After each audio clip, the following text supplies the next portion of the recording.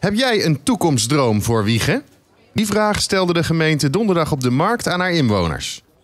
Bij een enorme rode pijl gingen gemeentemedewerkers en inwoners met elkaar in gesprek. Wij zijn hier vandaag omdat wij uh, als gemeente samen met inwoners, maar ook met ondernemers en maatschappelijke organisaties een uh, toekomstbeeld willen ontwikkelen over hoe Wiegen in 2035 eruit moet zien. Er gebeurt heel veel in de samenleving en in de maatschappij en ook in de wereld als geheel.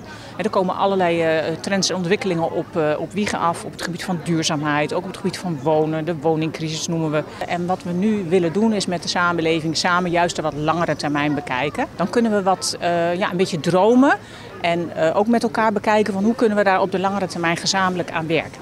Hoewel het dus eigenlijk de bedoeling was om met toekomstdromen te komen, kwamen Wiegenaren toch eerder met plannen voor de korte termijn.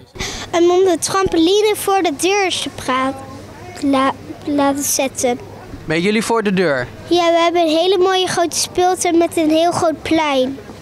En daar zou je dan een trampoline willen zien? Ja. Ik heb één idee.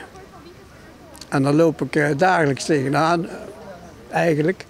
Dat is namelijk dat de banken zo goed als verdwenen zijn, althans de kantoren. En dat vind ik heel erg jammer.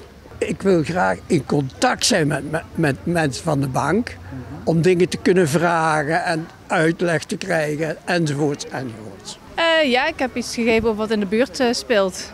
Um, dat er uh, bij ons heel vaak, zo nu uit de markt, dat er auto's geparkeerd zijn in de wijk. En ja, terwijl er genoeg parkeergelegenheid is, want er is genoeg aan gedaan.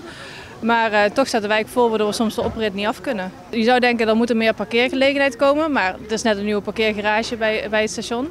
Dus het zou meer naar gehandhaafd moeten. Dus meer bekeuringen misschien voor mensen die uh, op de stoep staan.